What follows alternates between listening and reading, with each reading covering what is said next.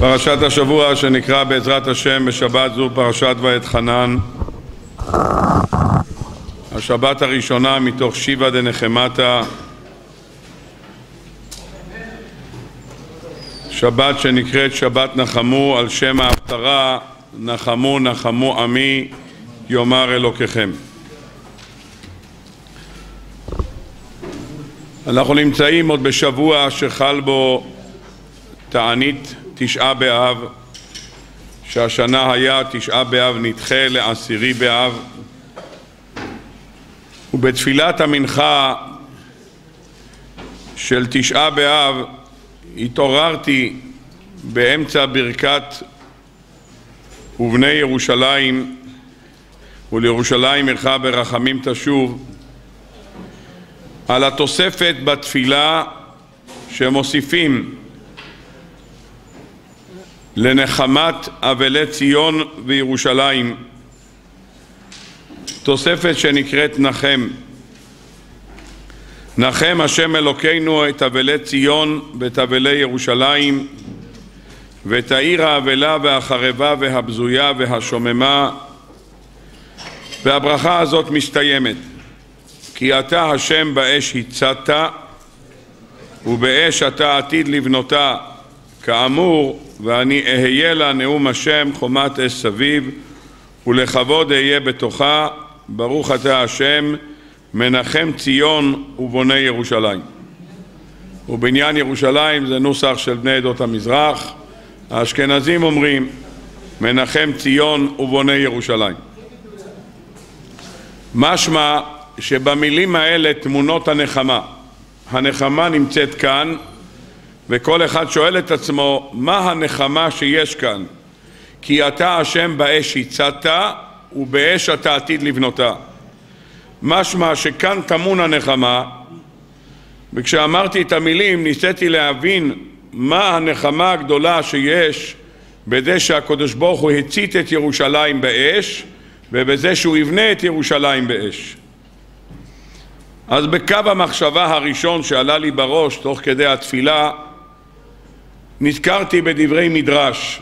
המדרש נמצא בפרשת בשלח כאשר עם ישראל מגיעים למרה ולא היה להם מים לשתות כי המים היו מרים. אז הקדוש ברוך הוא אומר למשה רבינו ויורהו השם עץ וישלך אל המים אומרת התורה וימתקו המים שם שם לו חוק ומשפט ושם נישאו. חז"ל במדרש בפרשת בשלח דנים איזה עץ השליך משה רבינו בתוך המים אחד אומר עץ שנקרא זית אחד אומר עץ רעיל, קוראים לו הרדופני, יש רשימה שלמה של דעות בחז"ל מה היה עץ. לכולי עלמא, אומר המדרש, לכולי עלמא עץ מר היה. כל דרך שלא תיקח זה היה מר, כך אומר, אומר המדרש שם. שם בתוך המדרש, המדרש מתאר מה עשה משה רבינו, אומר המדרש את המילים הבאות. רבי שמעון בן גמליאל אומר, בואו ראה כמה מופלגים דרכיו של הקדוש ברוך הוא מדרכי בני אדם. בני אדם, בשר ודם, במתוק מרפא את המר. כשהוא רוצה לרפות את המר, להמתיק את המר, אז הוא שם שם סוכר. אבל הקדוש ברוך הוא במר מרפא את המר. בדבר מר הוא מרפא את המר. אמר הקדוש ברוך הוא לא כך אומנותי, אלא במה שאני מכה, בו אני מרפא. במה שהכיתי, בו אני נותן תרופה. הואיל והמים מרים, אני מרפען בדבר מר. אם המים הוא מר, אני אכניס בתוכו מר. יש פיוט שאומרים אותו בימים נוראים, בסליחות, וממכה עצמה מתקן רתיעה. הקדוש ברוך הוא מהמכה עצמה שהוא מכה, בו הוא גם מביא את הישועה.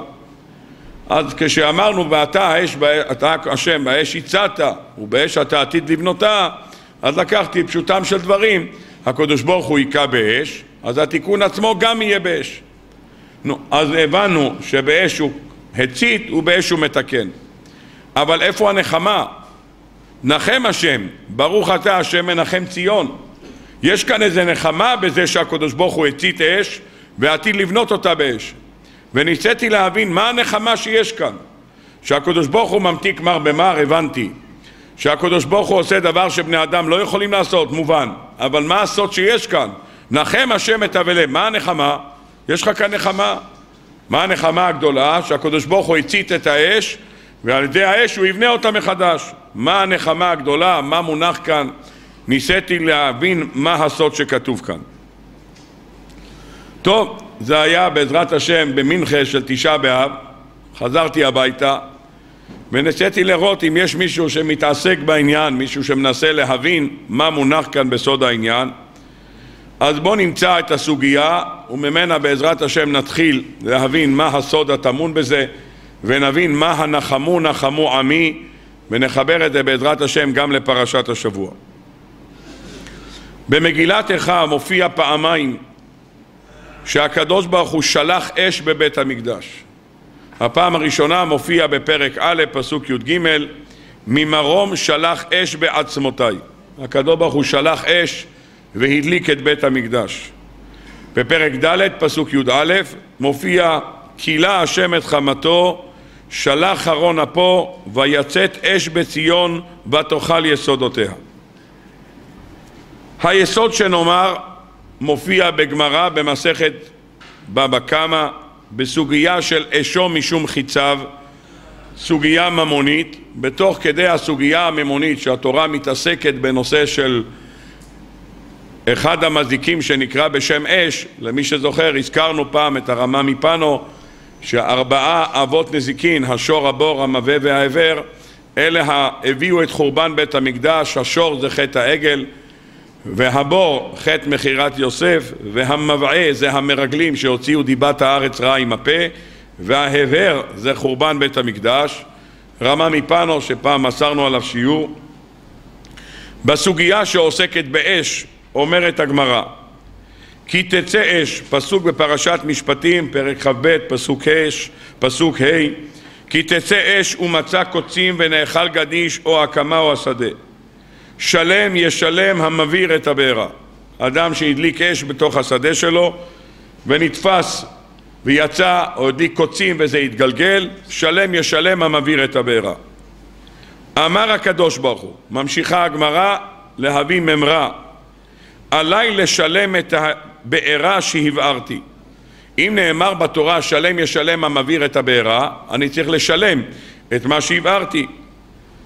אני הצעתי אש בציון, שנאמר ויצאת אש בציון ותאכל יסודותיה, הבאנו את הפסוק הזה מפרק ד' באיכה, ואני עתיד לבנותה באש, שנאמר ואני אהיה לה חומת אש סביב ולכבוד אהיה בתוכה. פירוש הדבר, הקדוש ברוך הוא אומר, אני גרמתי לשרפה של בית המקדש, אני צריך לתקן את זה. אז אני אבנה את בית המקדש באמצעות אש. אני העברתי ואני אתקן. לא, כל אחד קורא את זה, שואל את עצמו מה? הוא העביר אש? נבוזרדן וחייליו, הם העבירו את האש. מה זה אומר אני העברתי אש? הוא העביר אש? המעשים שלנו, הם גרמו לחורבן בית המקדש, הם הציתו אש. מה אומר הקדוש ברוך הוא אני העברתי אש? לבני עדות אשכנז בפיוטים רבי אליעזר הקליר בתוך הפיוטים שלו בפיוט ט"ז הוא מדבר על המעשים של טיטוס בתוך בית המקדש והוא שואל שאלה זכור אשר עשה צר בפנים שלף חרבו ובא לפני ולפנים. כידוע לכולם הוא נעץ חרב בפרוכת. שואל רבי אליעזר הקליר אבותינו זרה כי הכניסו בחוריו אכלה אש נדב ואביהו הביאו אש זרה מיד אכל אותם אש. וזה טיטוס זונה צואה הכניס ולא נכווה באש. נראה מה הוא עושה בתוך בית המקדש, רחמון אליצן.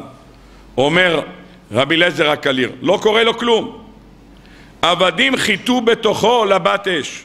הבבלים הדליקו בתוך בית המקדש את האש. על מה בבית אש ממרום שלח אש?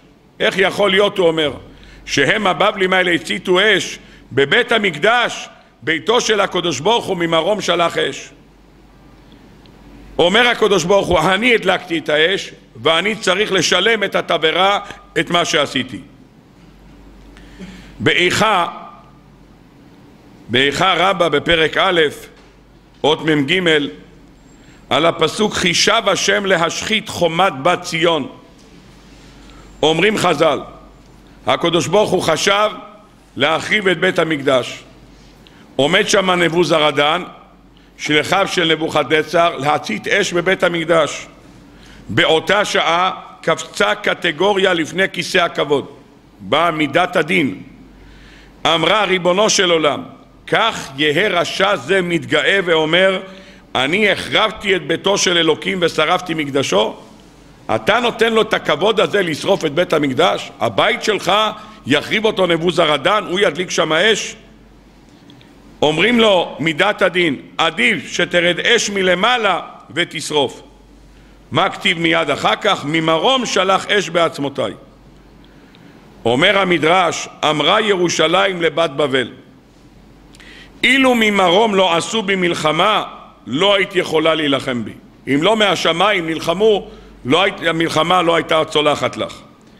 אילו ממרום לא שלחו בי אש, לא היית יכולה לפגוע בי. רק ממרום שלח אש.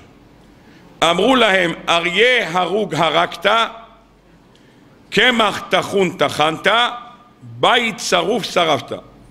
טוב, צריך לדעת מה זה שלושת הדברים האלה, למה זה אריה, למה זה קמח, למה זה בית, יש על זה ביאור נפלא, אבל לא זה הזמן לעסוק בזה. יוצא שנאמר כאן בית שרוף שרפת, אז מי שרף? יוצא שנבוזרדן כשהצית אש בבית המקדש זה כבר היה שרוף, מי שרף? אומרים חז"ל בפסיקתא רבתי, עוד כ"ז, אומרים חז"ל כך: עד שנמלכו ביניהם השונאים איך לשרוף את בית המקדש, השונאים מתכננים איך להצית אש, נשאו עיניהם והנה ארבעה מלאכים יורדים ובידם ארבעה לפידים של אש. יורדים ארבעה מלאכים עם לפידים של אש ונתנו את האש בארבעה זוויות ההיכל ושרפו אותו. וכשראה כהן גדול שנשרף בית המקדש נטל את המפתחות וזרקן לשמיים. הוא ראה שהם הציתו אש, הוא לקח את המפתחות וזרק אותם לשמיים, מעין מה שהגמרא מביאה בתענית, כ"ט. ושרפו אותו, סליחה, נתן מפתחות וזרקן לשמיים, פתח פיו ואמר, הרי מפתחות של ביתך, ריבונו של עולם, הנה המפתחות של בית המקדש, אני מחזיר את המפתחות. אפוטרופוס של שקר הייתי בתוכו. יצא ללך, רצה הכהן גדול לצאת מבית המקדש, תפסו אותו האסונים ושחטו אותו אצל המזבח.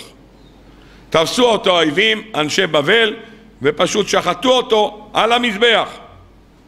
הגיעה לשם הבת שלו, חיפשה את אבא שלה, פתאום ראו אותה, שחטו גם אותה ביחד איתו, וערבבו את דמה בדם אביה. כך מופיע בפסיקתא רבתי פרשה כ"ז. בילקוט שמעוני באיכה, רמז תתכ"ט, על הפסוק כל רעיה בגדו בה. אומרים חז"ל, מי זה רעיה שבגדו בירושלים? זה גבריאל ומיכאל, שהיו מלמדים זכות על ירושלים. אמר להם הקדוש ברוך הוא, מי חביב עליכם? אמרו לפניו ישראל. ואחרי ישראל מי חביב עליכם? אמרו לפניו בית המקדש. אמר להם הקדוש ברוך הוא, נשבע אני בשמי הגדול, שאתם בעצמכם מציתים בו את האור. אתם, מיכאל וגבריאל, אתם תציתו את האש בבית המקדש. מיד נטלו מיכאל וגבריאל שני לפידי אש והציתו אש בהיכל בית המקדש. מי? מיכאל וגבריאל. אז או שנאמר שזה מדרשים חלוקים, פסיקתא רבתי כתוב ארבע וכאן כתוב מיכאל וגבריאל, או שלא קשה, אחד בית ראשון ואחד בית שני. אין במדרשים, לא כתוב זה באיזה בית היה, אבל שני מדרשים מצאנו. אם ככה מצאנו שבית המקדש נשרף, כמו שאומר הפסוק, הקדוש ברוך הוא שילח אש, הוא שלח או ארבע מלאכים, או ששלח שתי מלאכים, מה בידת הדין? ואמרה לא ייתכן שתיתן להם לשרוף את הבית שלך, והקדוש ברוך הוא, כמו שאומר הפסוק, שילח אש בבית המקדש, והקדוש ברוך הוא ממרום שלח אש לשרוף את בית המקדש. עד כאן הבאנו שתי מדרשים. כל אחד שקורא את הדברים האלה שואל את עצמו שאלה למה הקדוש ברוך הוא שרף את בית המקדש? למה אי אפשר היה לקחת את בית המקדש ולהשקיע אותו בתוך האדמה. בדיוק כמו שנאמר, שכך עשה הקדוש ברוך הוא לשערי בית המקדש, שנאמר, טבעו בארץ שעריה. והרי מופיע בתוספות במסכת קידושין, שבשעה שאבימי קיבל את אבא שלו, רבי אבאו, ואבא שלו ביקש כוס מים, ואבימי הלך להביא לאבא שלו כוס מים, והוא לא ידע מה לעשות, אבא שלו נרדם. אז הוא נעמד ליד אבא שלו עם הכוס, המתין לרגע שאבא שלו יתעורר, ותוך כדי כך הקדוש ברוך הוא גילה לו סוד. מזמור לאסף, אלוקים באו גויים בנחלתך, טעימו את היכל קודשך, שמו את ירושלים לאים, שאל את עצמו, אבימי, מה מזמור לאסף? קינה לאסף מבא אליהם, מה אתה אומר מזמור? על מה אתה אומר מזמור? אלא, אומר תוספות, אמר אסף מזמור, היות והוא שמע שהקדוש ברוך הוא טיבע את השערים של בית המקדש בקרקע, שנאמר טבע בארץ שעריה, טבעו בארץ שעריה, אמרו בני קורח, היות והשערים של בית המקדש נכנסו בתוך הקרקע, מי שיוציא את השערים של בית המקדש החוצה, הוא גם יוציא את אבא שלנו החוצה, את קורח. על זה אמר אסף שירה, מזמור לאסף, אלוקים באו גויים בנחלתך. רש"י מביא דבר אחר, שהקדוש ברוך הוא כילה את זעמו על עצים ואבנים, אבל זה מה שמביא שם תוספות במקום. נשאלת השאלה, מאוד פשוטה, למה הקדוש ברוך הוא שרף את בית המקדש ולא ישתמש בית, כמו שהוא עשה לשערים, טבעו בארץ שעריה, ייקח את בית המקדש, בוא ייכנס בתוכו, יכסה אותו באפר, אין בית המקדש. זה שאלה, אמנם זאת לא שאלה למען השאלה, זו שאלה כדי להעצים איזשהו יסוד. שאנחנו רואים שהקדוש ברוך הוא רצה שבית המקדש לא ישקע בתוך האדמה, אלא הוא רצה לשרוף את זה. והשאלה למה? בגמרא במסכת שבת קי"ט, הזכרנו אותה בשבוע שעבר, לפני תשעה באב, שאחד הסיבות שנחרבה ירושלים, אני מדגיש ירושלים לא בית המקדש, אחד הסיבות שנחרבה ירושלים, אומרת הגמרא במסכת שבת קי"ט, זה בגלל שחיללו בה את השבת. בירושלים חיללו את השבת, כך אומרת הגמרא, אמר רב נחמן בר יצחק בשעה, אומרת הגמרא, אמר אביי, לא חרבה ירושלים אלא בשביל שחיללו בה את השבת, שנאמר ומשבתותיי אלימו עניהם ואכל בתוכם. חז"ל אומרים שאין הדלקה מצויה, גמרא שבת קי"ט, אמר רב יהודה ברי דרב שמואל, אין הדלקה מצויה אלא במקום שיש חילול שבת. ואם אתה רואה שירושלים והצעתי אש בשעריה ואכלה ארמונות ירושלים ולא תכבה, למה? כי חיללו את השבת בירושלים. אז חיללו את השבת בירושלים, מובן למה נשלחה שם האש. הקדוש ברוך הוא מזהיר, במקום שמחללים את השבת, נשלחת אש. אבל נשאלת השאלה, על מה נשלחה אש בבית המקדש? למה בית המקדש, שם לא חיללו את השבת, אז למה נשלחה אש בבית המקדש? הקדוש ברוך הוא לא חסרות לו דרכים להעלים את בית המקדש, אם ברעידת אדמה ואם להעלים אותם בכל מיני דרכים. אני לא נכנס לעניין למרות שכבר אפשר להתחיל ללמוד את ההושענות לסוכות. אדם שרוצה ללמוד את ההושענות ולא להגיד אותם כלאחר יד, כדאי לקחת את הספר, עכשיו חופש, הדבר הכי יפה לקחת את ההושענות וללמוד אותן. ההושענות האלה זה דבר שצריך ללמוד. יש שם פיוט, הפיוט הזה מדבר על כל מה שנעשה באש. הושענה למען איתן הנזרק בלהב אש. הושענה למען בן הנעקד על עצים ואש. הושענה למען גיבור הנאבק עם שר אש. זה הולך לפי סדר האלף-בית. כשמגיעים לאות שין כתוב הושענה למט שיממות עירך השרופה באש.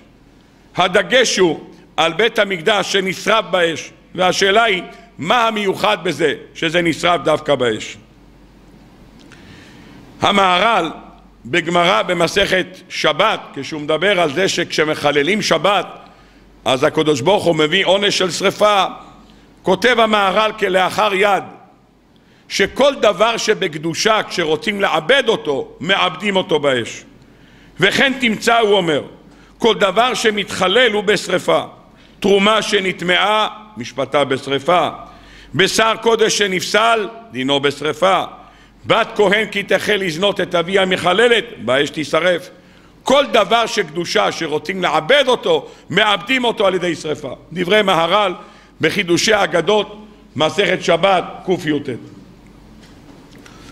מצאתי מדרש נפלא בויקרו רבו, פרשה ז' אות ו', על פסוק בפרשת צו, היא העולה על מוקדה. אומרים חז"ל, אמר רב לוי נימוס וקילוסין הוא, שכל המתגאה אינו נידון אלא באש. כל דבר, כל אומה שמתגאה, הסוף שלה הוא באש. למה? מה העניין של גאווה לאש? המדרש לא מסביר, אבל רב חיים ויטל בשערי קדושה מסביר את זה.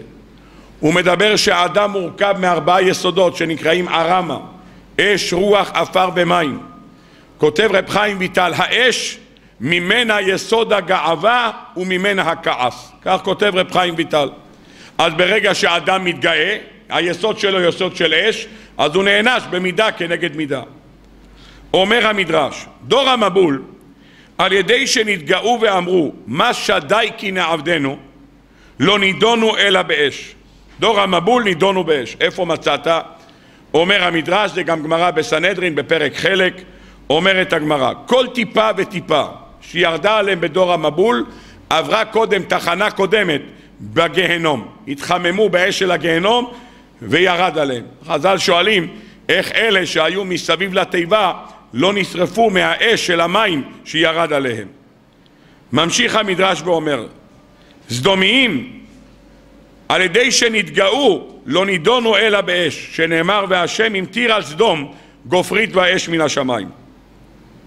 פרעה הרשע על ידי שנתגאה ואמר מי השם אשר אשמע בקולו לא נידון אלא באש, שנאמר ויהי ברד ואש מתלקחת בתוך הברד. סיסרא על ידי שנתגאה, אומרים חז"ל, לא נידון אלא באש, שיצאו הכוכבים ממסילתם להילחם בו. סנחריב על ידי שנתגאה, אמר מי בכל אלוהי הארצות האלה אשר הצילו את ארצם מידי, כי הציל השם את ירושלים מידי, לא נידון אלא באש, שנאמר ותחת כבודו יקד יקוד, אומר המדרש.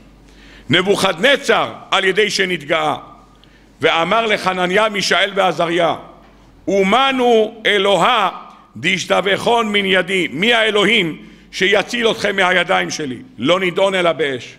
אומר המדרש שמה שכל מי שיתקרב לתנור נשרף וגם נבוכדנצר שבא לראות את חנניה, מישאל ועזריה נשרף חציו. שואלים חז"ל במדרש ולמה לא נשרף כולו? אמר הקדוש ברוך הוא הניחו רשע זה חציו כדי שידע את מי חירף הקדוש ברוך הוא תשאירו אותו כדי שירגיש מה זה שרוף, קצת כוויות, על ידי זה ירגיש מה זה שרוף. האחרון, מלכות הרישה, מלכות אדום, על ידי שהייתה מחרפת ומגדפת ואומרת מי לי בשמיים אינה נידונת אלא באש, שנאמר והיה בית יעקב אש ובית יוסף להבה ובית עשיו לקש. כל זה הקדמה לקטע האחרון במדרש. אבל ישראל שהם נבזים ושפלים בעולם הזה, אין מתנחמים אלא באש, שנאמר ואני אהיה לה נאום אש, נאום השם, חומת אש סביב. אומר המדרש, עם ישראל שפל ונבזה, והנחמה שלו היא באש. למדנו מהמדרש שנחמת עם ישראל, כי אתה השם באש הצעת ובאש אתה עתיד לבנותה. האש זה הנחמה. מדרש איכה פרק ב' אות נ"ז חטאו באש דכתיב הבנים מלקטים עצים והאבות את, מבעירים את האש ולקו באש דכתיב ממרום שלח אש ומתנחמים באש דכתיב ואני אהיה לה נאום השם חומת אש סביב למדנו מכאן שיש נחמה שהיא באש ואנחנו רוצים להבין מה הנחמה, מה יש כאן טוב סגרנו את הנושא הזה, אפשר להתחיל לדבר פרשת שבוע. פרשת השבוע חוזרת התורה על מעמד הר סיני. משה רבינו חוזר על מעמד הר סיני. פרשת יתרו מופיע פעם אחת מעמד הר סיני. בפרשת השבוע משה רבינו אומר, אלה הדברים אשר דיבר משה, משה רבינו מתאר לנו את מעמד הר סיני, איך הוא היה נראה במבט של משה רבינו. רבותיי, אני רוצה לשאול שאלה, בטח כל אחד כבר אמר פעמיים או עשר פעמים את שניים מקרא ואחד תרגום פרשת ואתחנן ובטח כמה וכמה פעמים את פרשת יתרו. פרשת יתרו אומרים גם כן בחג השבועות, נו אז ודאי שאמרו על זה. כמה פעמים מוזכרת המילה אש בפרשת יתרו?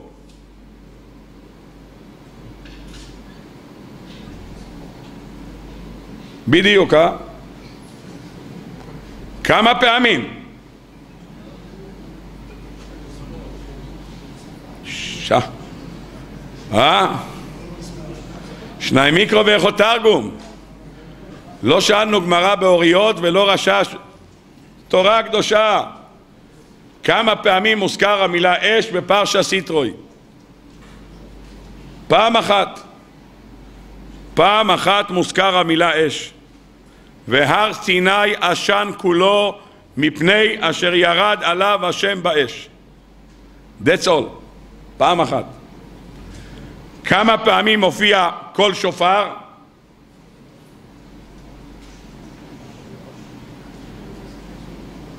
בדיוק. מה כמה? לא. זה כבר צריך לזכור מהתפילות של ראש השנה. תעזבו שניים מקרא ואחד תרגום. נו, אוטוטוט, מה יש לכם? עוד חודש וחצי ראש השנה. והבטח רוצה... אה? שלוש פעמים. כל שופר מופיע שלוש פעמים. טוב, כמה קולות וברקים יש? זה גם מראש השנה. טוב. טוב, תלוי אם קולות וברקים או קולות וענן כבד, לדעת איך סופרים את זה. נגיד גם שלוש, פיין. אז יש לנו שלוש מזה ושלוש מזה אש פעם אחת. כמה פעמים מוזכר אש במעמד הר סיני, פרשת ואתחנן? טוב, זה לא קשור לראש השנה. כמה פעמים? אה? כמה? שניים מיקרו ואיכו תרגום? לא, אף אחד לא... טוב, אז בואו נקרא רבותיי. אני מקריא. פרק ד' פסוק י"א ותקרבון ותעמדון תחת ההר וההר בוער באש עד לב השמיים חושך ענן וערפל כמה יש לנו? אחד פרק ד' פסוק י"ב וידבר השם עליכם מתוך האש כל דברים אתם שומעים ותמונה אינכם רואים גלועתי כל ונשמרתם מאוד לנפשותיכם כי לא ראיתם כל תמונה ביום דיבר השם עליכם בחורב מתוך האש כי השם אלוקיך אש אוכלה. ארבע. מן השמיים השמיעך את קולו ליעשרך ועל הארץ את אישו הגדולה. חמש. ודבריו שמעת מתוך האש. שש. שבע. הלאה. השם העם כל אלוקים מדבר מתוך האש. שבע. פנים בפנים דיבר השם עמכם בהר מתוך האש. שמונה. אנכי עומד בין השם וביניכם בעת ההיא להגיד לכם את דבר השם כי יראתם מפני האש. כמה? שמונה. תשע. את הדברים האלה דיבר השם את כל קהלכם בהר מתוך האש. ויהי כשומכם את הכל מתוך החושר וההר בוער. אחד עשרה. ותאמרו אין הראנו השם אלוקינו את כבודו ואת גודלו ואת קולו שמענו מתוך האש. שתים עשרה. הלאה. ועתה למה נמות כי תאכלנו האש הגדולה. כמה? שלוש עשרה. כי מי כל בשר אשר שמע כל אלוקים חיים מדבר מתוך האש כמונו ויחי ארבע עשרה אה? מי אמר שבע? אה? שבע ועוד שבע במפורת יוסף ארבע עשרה פעמים מוזכרת המילה אש בפרשת השבוע. יתרוי פעם אחת בפרשה הזאת ארבע עשרה פעמים.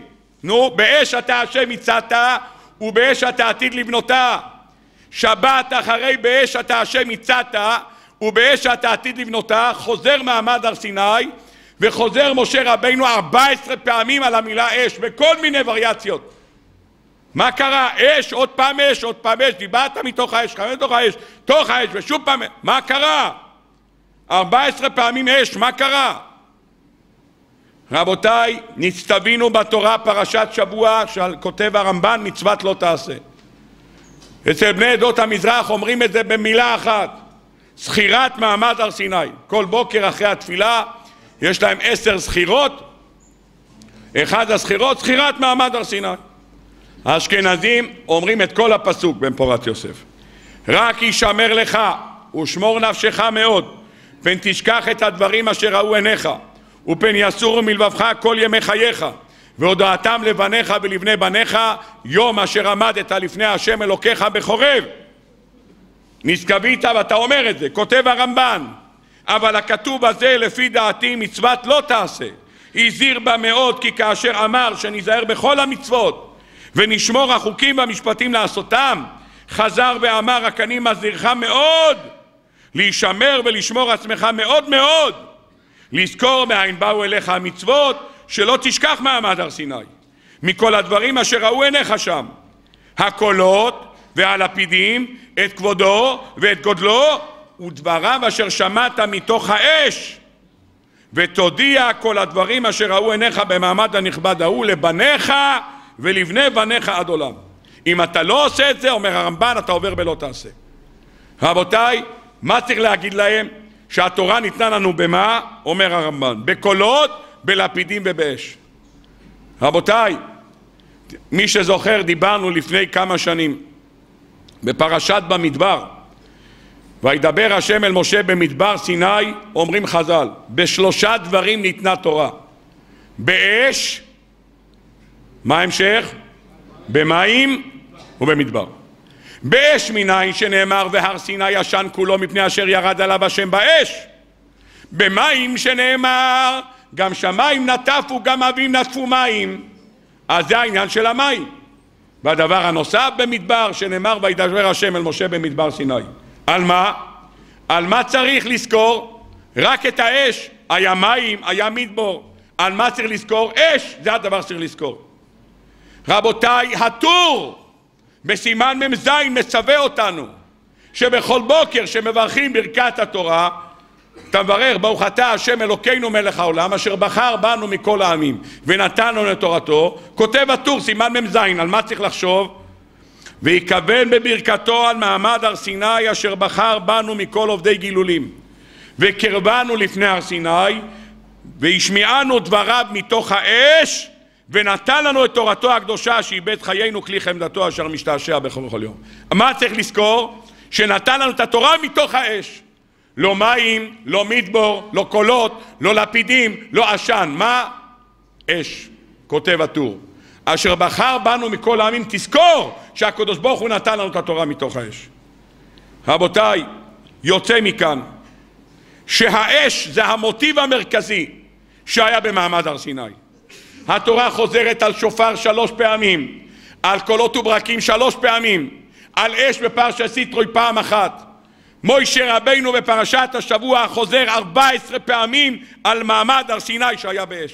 מה הוא רוצה?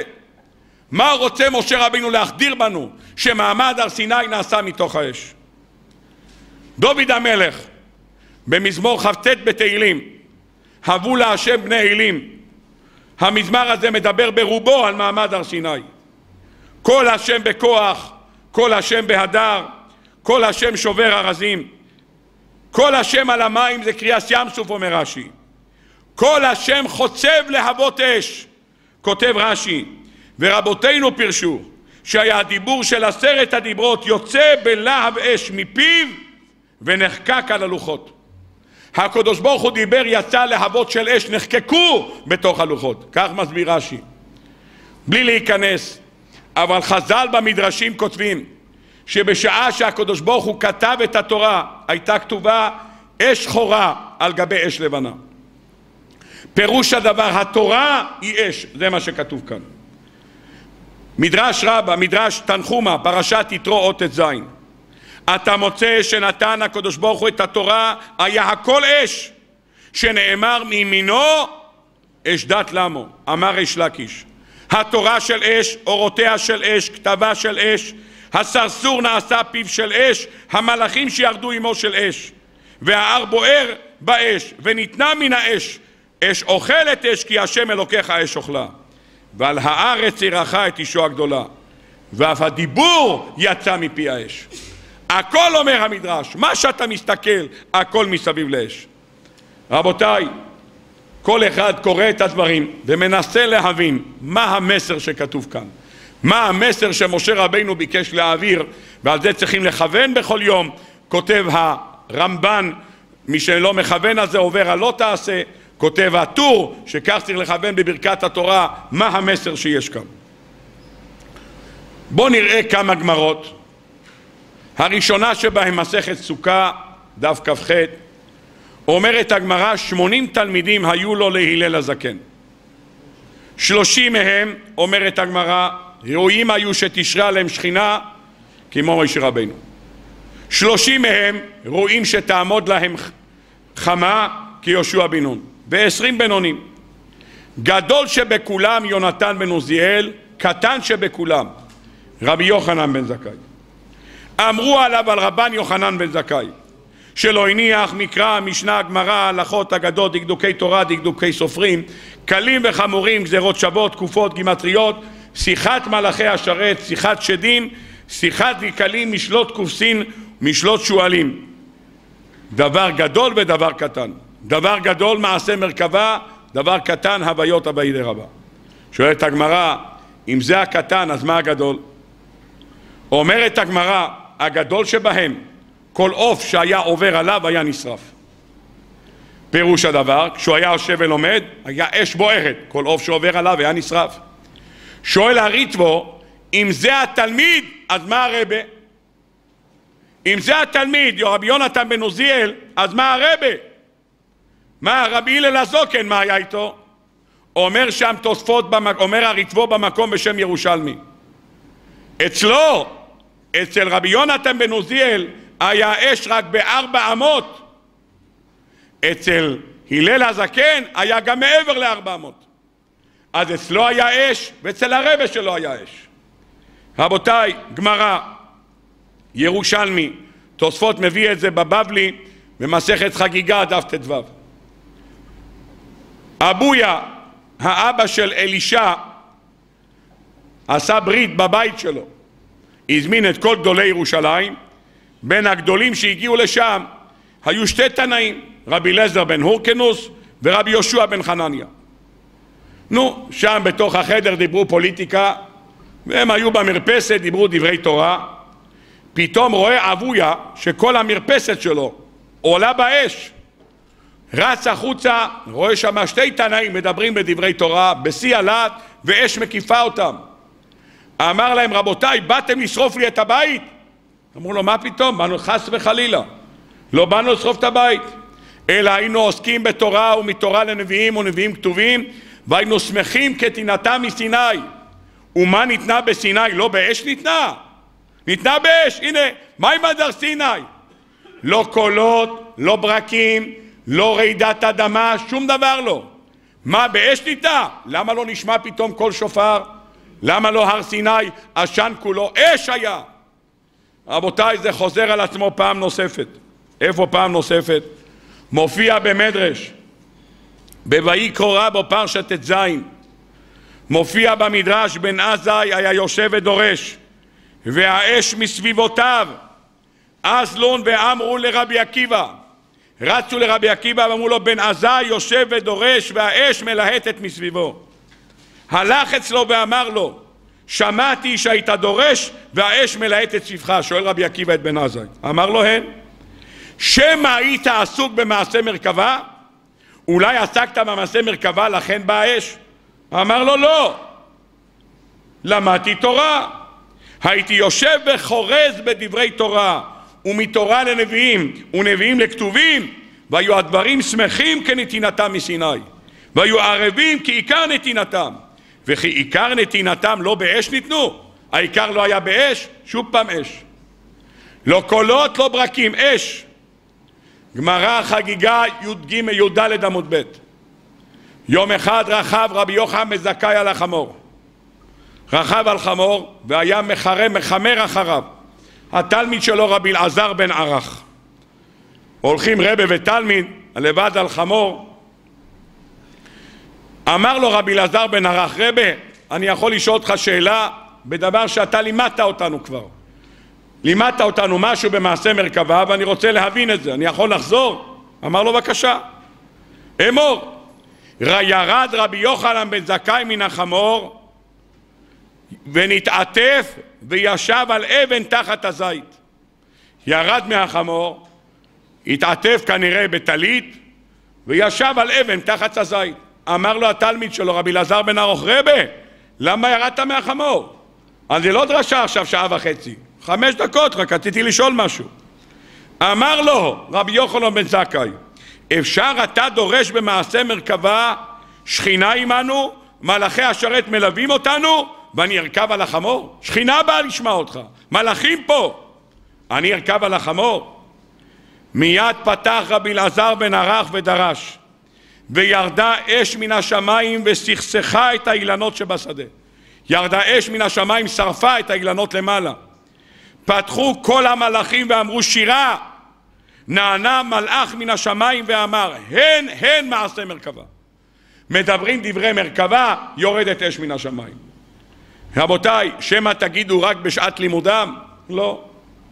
שלוש גמרות נביא במסכת כתובות, אחת אחרי השנייה.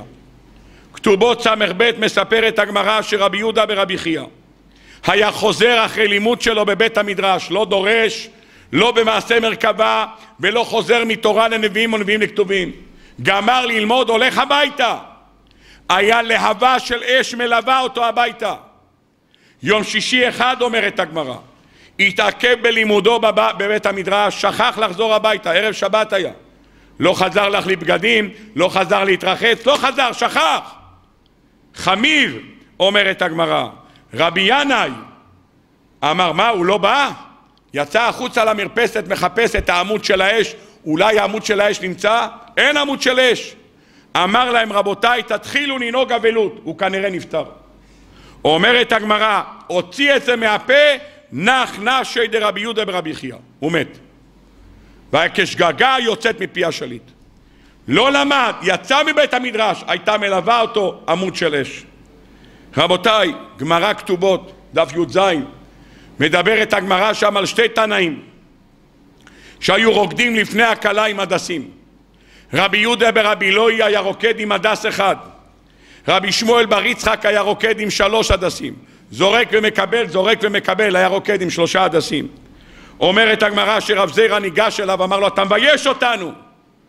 אתה יהודי כזה גדול, רוקד עם הדסים, אתה עושה את עצמך בזלזול, נוהג קלות ראש, לרקד בהדסים.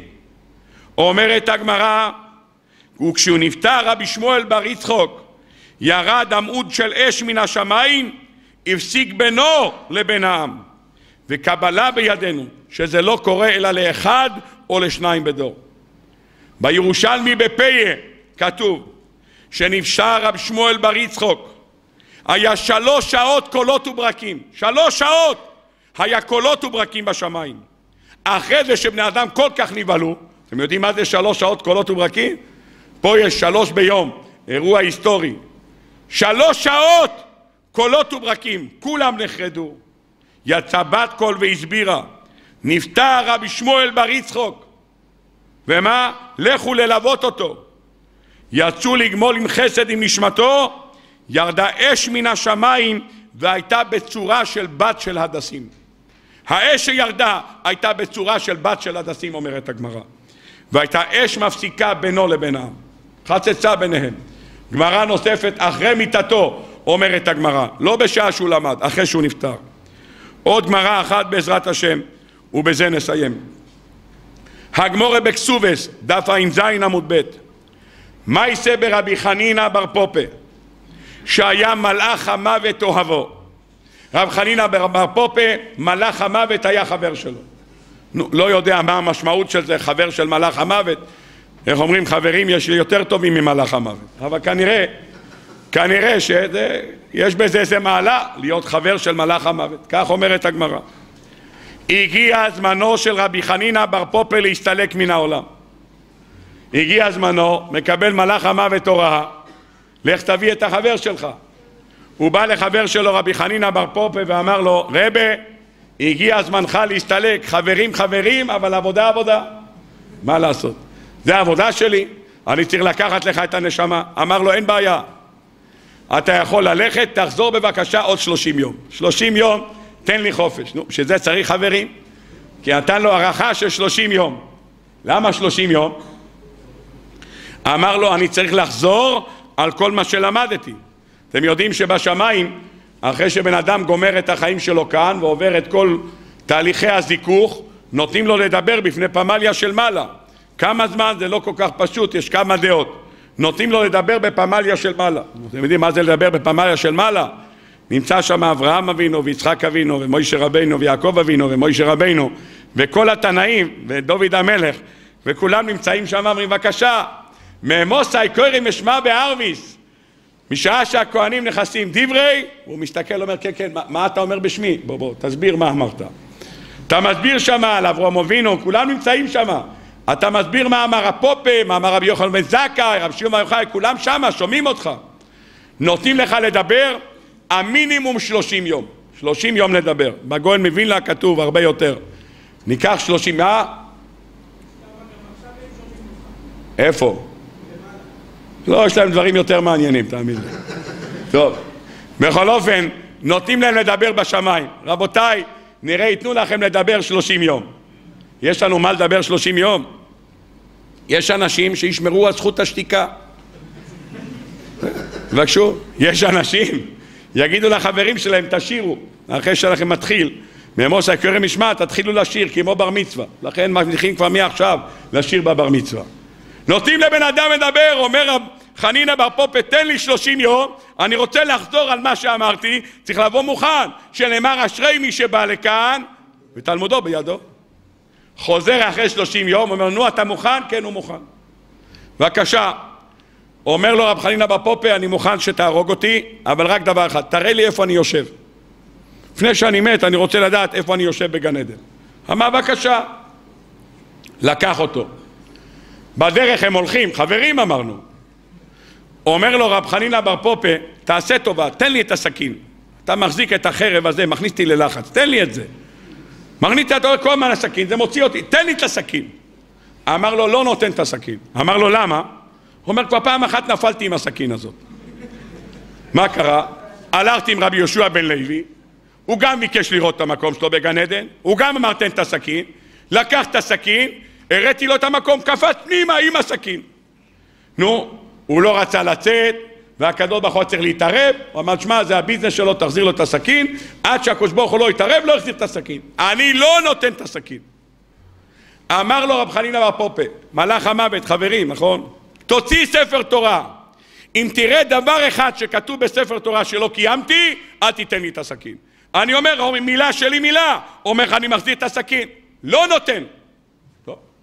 אז למה נתת לרבי יהושע בן לוי? אתה משווה את עצמך לרבי יהושע בן לוי? הוא למד עם בעלי רעתן, אומרת הגמרא. ישב עם מצורעים, ישב עם כל מיני מחלות, אתה ישבת איתם? לא ישבת, נו, אז מה אתה רוצה? טוב.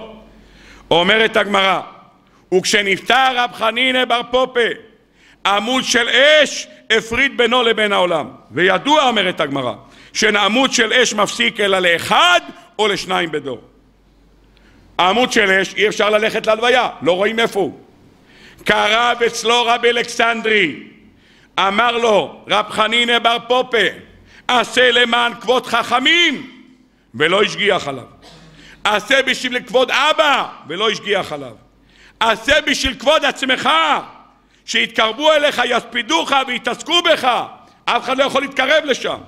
נסתלק עמוד האש. רבותיי, לא בשעה שעוסקים בתורה, לא בשעה שהוא לומד מייסה מרכובו, מת, מקיף אותו עמוד של אש. רבותיי, טוירו זה אש. אני לא רוצה להיכנס לזויר, מי שרוצה ייקח זויר חלק ג', מופיע שם על יום הפטירה של רבי שמעון בר יוחאי. על זה שהוא מסר את ההידרה לתלמידים שלו, את הבית שלו הקיף האש. ובשעה שהוא נפטר הקיף האש אותו ואי אפשר להתקרב. אחת הסיבות שמדליקים מדורות בל"ג בעומר, חוץ מזה כדי לחסל את כל הצמיגים שאין מה לעשות איתם, יש בזה עוד עניין, כדי לעשות אש מעין מה שהיה ביום הפטירה של רבי שמעון בר יוחאי. כך כתוב במפרשים. רבותיי, אנחנו רוצים להבין מה המסר שכתוב כאן, מה זה המושג של אש. וממילא נבין מה זה באש הצעת ובאש אתה עתיד לבנותה. אז טייפלר זכותו תגן עלינו, שבוע הבא זה יום ההילולה שלו, כמדומני כ"ג בחודש אב. בספרו חיי אוילום פעמיים, גם בפרק י"ז, גם בפרק ל', כותב הסטייפלר שכדי להמחיש לחושינו הגשמיים רוממות קדושתו יתברך שהוא קדוש ונורא ונעלה מהשגותינו התראה לנו כבודו יתברך באש. כי המקום המובדל ביותר מתחום האדם הוא האש שאי אפשר לבריאה לבוא ולהיכנס בתחומה. על כן נראה כבודו יתברך בסנה בלבת אש והר סיני עשן כולו מפני אשר ירד עליו השם באש וההר בוער בלש עד לב השמיים ורק המלאכים שייכים לתחום האש. ככתוב עושה מלאכיו רוחות משרתיו אש לוהט כי רוחניים הם ואין כוח באדם להשיג מדרגתם ומצאנו שמלאכים עלו למרום בלהב אש איפה מצאנו? אצל? אצל מנוח. ובעלות אליהו השמיימה, איך זה היה? רכב אש וסוסי אש. אם ככה, המלאכים שייכים לאש. אני רוצה ללכת לעוד נקודה אחת, וממנה בעזרת השם לבאר את הדברים. אם ניקח, ידוע שהעולם מורכב מארבעה יסודות, הזכרנו את זה קודם, אש, רוח, עפר ומים. ניקח ארון, ארון, נשים את הארון במים. תשים הארון במים. אם הוא מעץ, הוא יסוף. אם הוא ממתכת, הוא ישקע. ישתנה משהו בארון, הארון יישאר אותו דבר. קח ארון, שים אותו בעפר, קבור אותו בתוך העפר. מה יישאר איתו? תעבור עוד שנתיים, תחפור, הארון נמצא. שים הארון על הר, יבוא רוח, שוויט, תעיף אותו. מה יקרה לו? ייפול למטה, מקסימום יתרסק. יתרסק. אבל הוא יישאר קיים, העצים יישארו. אם תיקח את הארון לאש, זכר לא יישאר ממנו. זאת אומרת, בכל היסודות, אם אתה מכניס אותו בתוכו, לא קורה כלום, הוא יכול להמשיך להתקיים. באש זה המקום היחיד שאין לו קיום, אין קיום לתוך האש. נכנסת לאש, אין לו שום קיום. מה המסר הכתוב כאן? רבותיי,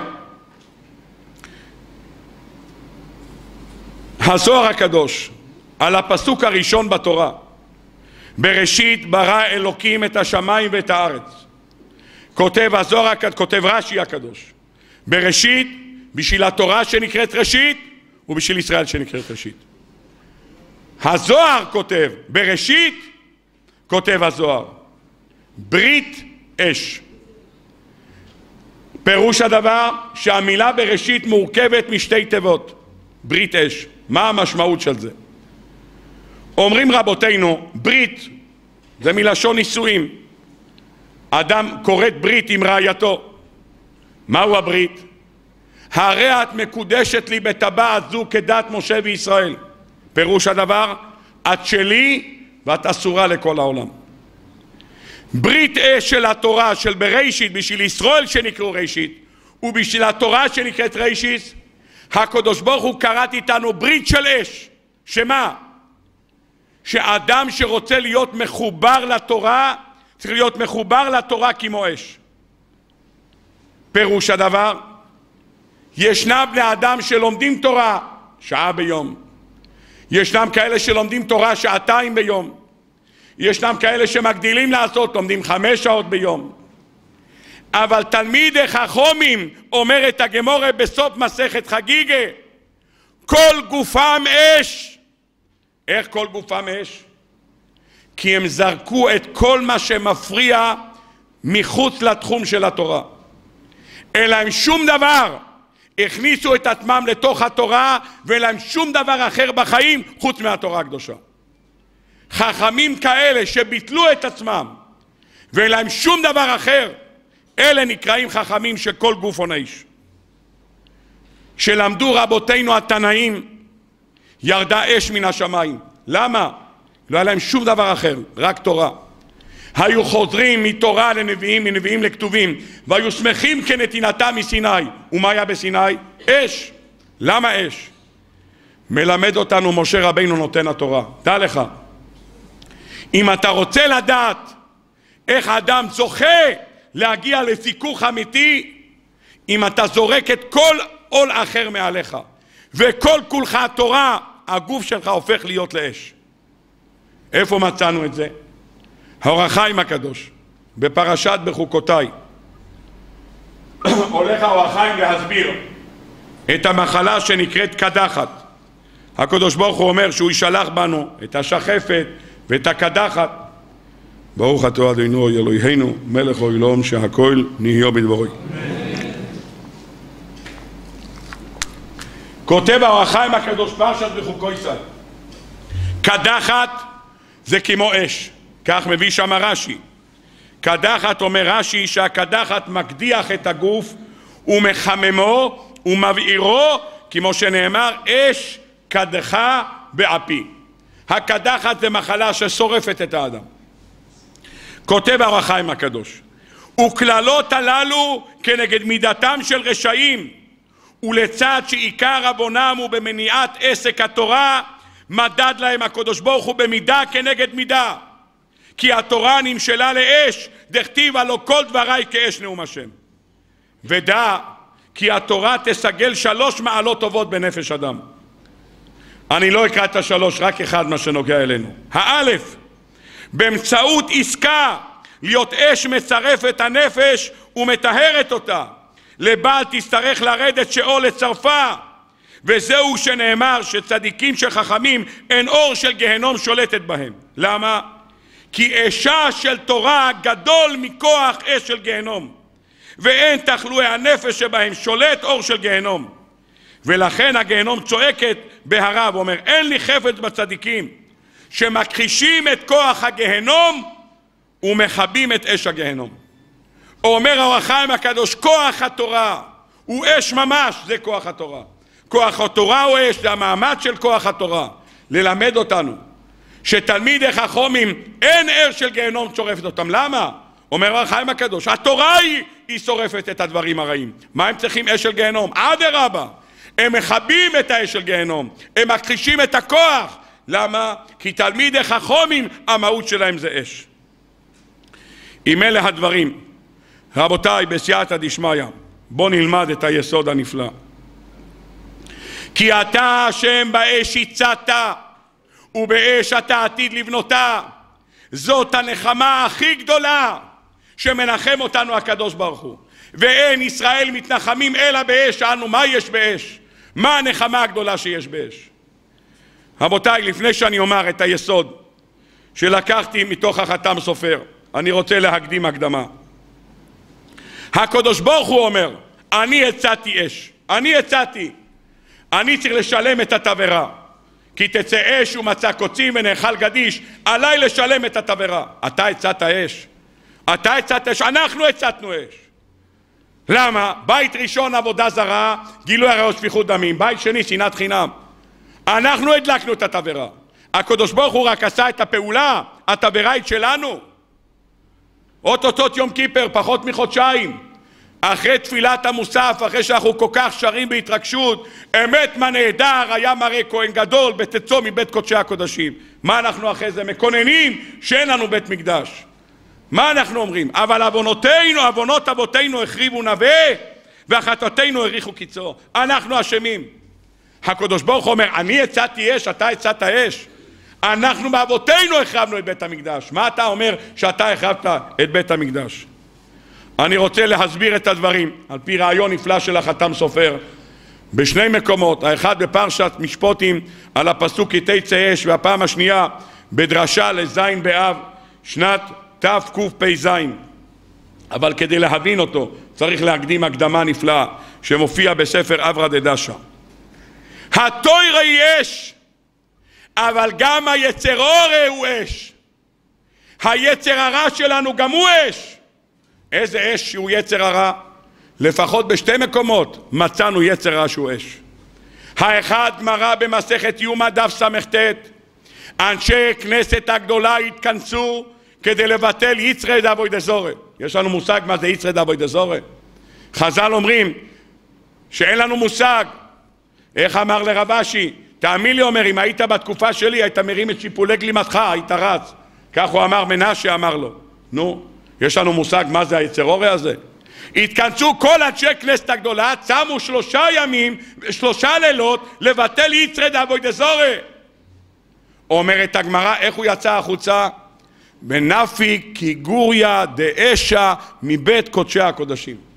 הוא יצא כמו גור של אריה מאש מבית קודשי הקודשים. נו, בית קודשי הקודשים, שם הוא נמצא, קודשי הקודשים. אז דיברנו על זה פעם, דרשה שלמה, זה לעומת זה עשה אלוקים. למה דווקא בצורה של אריה? כי האש שהייתה על המזבח, אומרת הגמרא, ביום מכבד, אומרת הגמרא. אש של בית ראשון הייתה רבוצה כאש, כאריה.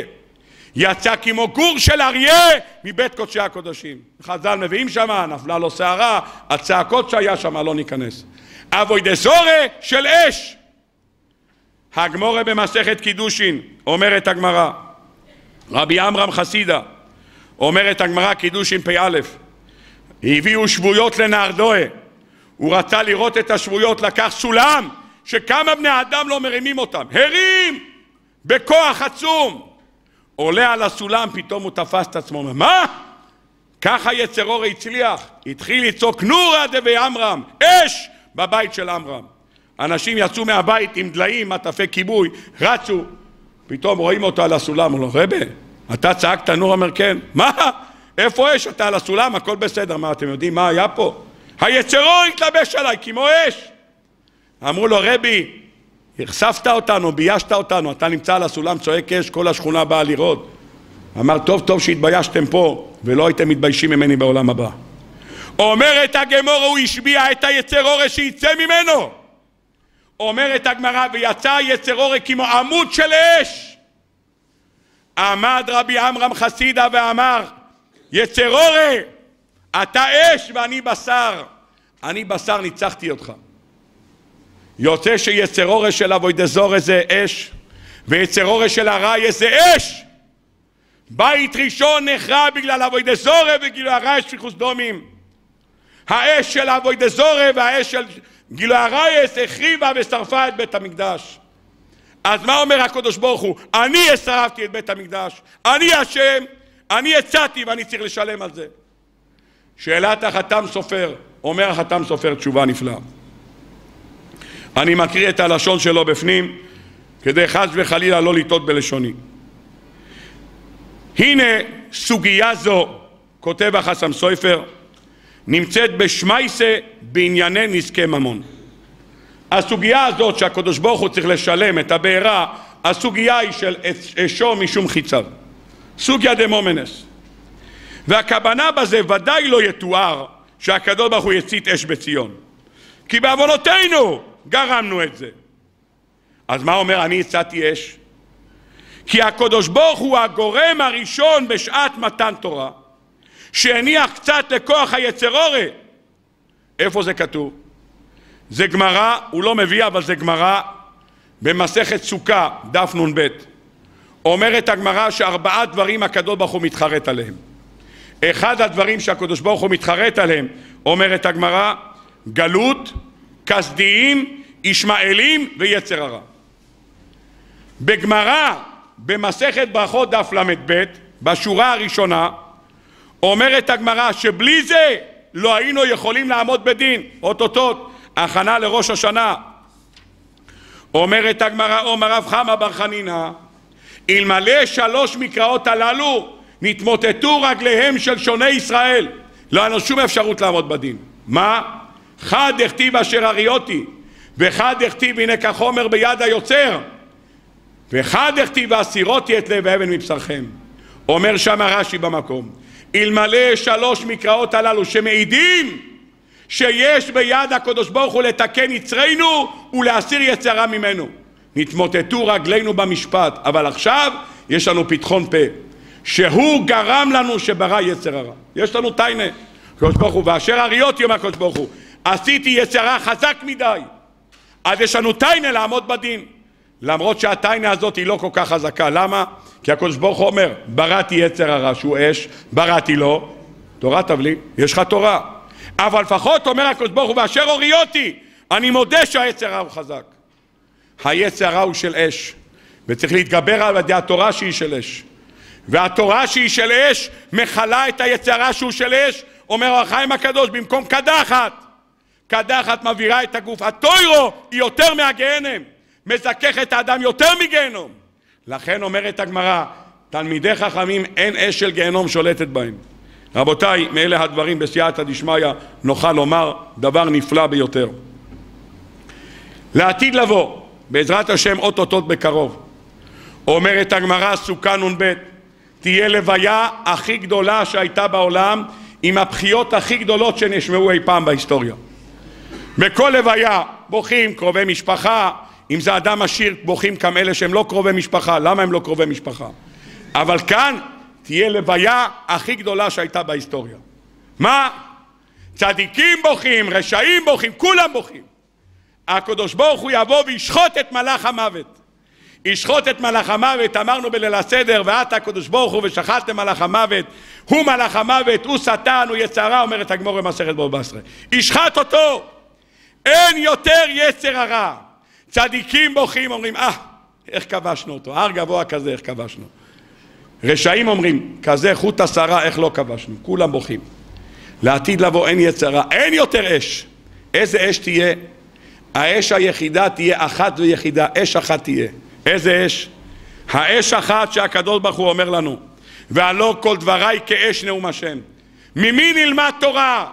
אומר הנביא ירמיהו פרק ל"א ולא ילמדו עוד איש את רעהו ואיש את אחיו לאמור דהו את השם. כי כולם ידעו אותי למקטנם ועד גדולם מה יהיה? כולנו נלמד תורה מפי הקדוש ברוך הוא. כך אומרים חז"ל בשיר השירים זוטה רשפיה רשפי אש שלבת יה. לעתיד לבוא זיוון של ישראל יוצא באש של כיסא הכבוד שנאמר ויאור ישראל לאש הקדוש ברוך הוא יישב וילמד איתנו, הוא אש, וילמד איתנו כי כולנו נהיה אש. איזה אש? אש של תורה. הלא כל דבריי כאש נאום השם. כולנו נהיה אש של תורה, זה האש היחידה שתהיה. אומר הנביא, וזה מה שאמרנו בתשעה באב, כי אתה השם באש הצעת. באש הזאת של העבירות, של אבי זורק, גילו הרע, שפיכוס דומים. היצר הרע שבער בנו כאש, זה גרם להצתת בית המקדש. שלחת את מיכאל וגבריאל לשרוף את בית המקדש. שלחת ארבע מלאכים, הצעתי אש בחומותיי, הקדוש ברוך הוא הצית. ממה? מתוצאה מהאש של היצרורי, אש של גילו הרייס, אש של שפיכות דומים, אש של אבוי דזורי. אבל לעתיד לבוא, אומר הקדוש ברוך הוא, הצעתי באש ועתיד אני לבנותה באש. איזה בניין יהיה? יביא הקדוש ברוך הוא את מלאך המוות וישחוט אותו. האש היחידה שתישאר זה האש של לימוד תורה, זה הדבר היחידי שיישאר. ברוך אתה השם מנחם ציון. אין לנחמה יותר גדולה מזו שבעזרת השם כשיבוא משיח תתקנו וזה יהיה בעזרת השם בקרוב היום הגדול הזה שהקדוש ברוך הוא ייקח את מלאך, את מלאך המוות, הוא השטן, וישחוט אותו, האש היחידה תהיה אש של תורה. נמצאים בערב ט"ו באב, בסייעתא דשמיא, הזכרנו כבר לפני כמה שנים שרבי צדוק הכהן מלובלין כותב שהיום המסוגל לביאת משיח זה ט"ו באב. זה יום מסוגל להרבה דברים ובעיקר כפי שידוע לאנשים שהם מעוכבי שידוכים. מעוכבי שידוכים זה יום מסוגל כמו שכתוב בדברי רבותינו בהרחבה גדולה שבנות ישראל יוצאות לחולל בכרמים מה זה לא סתם דברים. הזמן הזה הוא זמן מסוגל מאוד בעזרת השם להרבות במחנה ישראל קדושה וטהרה. זה יום שכל אחד אף על פי שחיתנת את כולם, או אף על פי שעוד לא חיתנת אף אחד, למרות שהילדים שלך קטנים, זה לא פוטר אותך מלהתפלל מחר ולהתפלל היום בערב לקדוש ברוך הוא שירחם על עמו ישראל. יש כל כך הרבה בחורים ובחורות שעדיין לא זכו להקים את ביתם, יש כל כך הרבה אנשים שעדיין מעוכבי שידוכים. זה היום שכל אחד ואחד מאיתנו להיות נושא בעול עם חברו. חיתנת, תתפלל על אלה שלא חיתנו.